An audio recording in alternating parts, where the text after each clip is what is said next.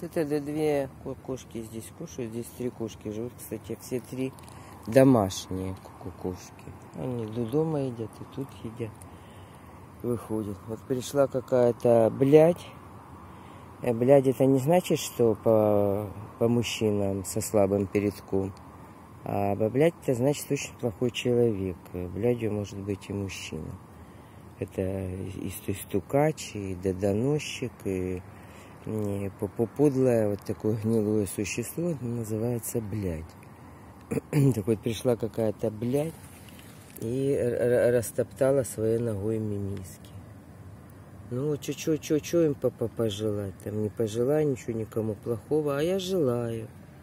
Да, я хри- христианка, да, я э, знаю, что нельзя там проклинать людей, ненавидеть. Ну, вот я такой че- человек, я тогда говорю, пусть мамаше твоей или же жене, там, кто, кто у тебя. В основном это, конечно, мужчины делают же, женщины, ну, это уже какая-то вообще и- извращенка, перверсная какая-то тварь.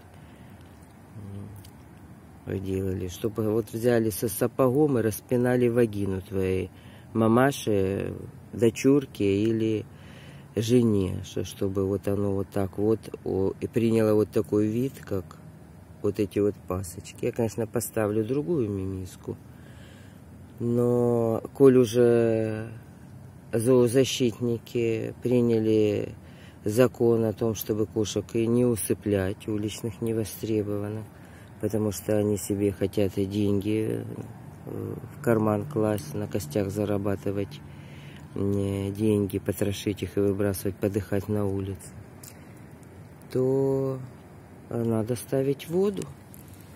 Нельзя без воды, без еды держать жи- жи- животных. Для того, чтобы эта зоозащитная шашваль себе деньги зарабатывала. Ну, я им новую мисочку поставила. Сколько раз э, со- сомнут ее, столько раз я поставлю. А потом мамашу в кустах найдут с разорванной пиписькой. И будет большая проблема. Охи-вахи, а за что нам? Зато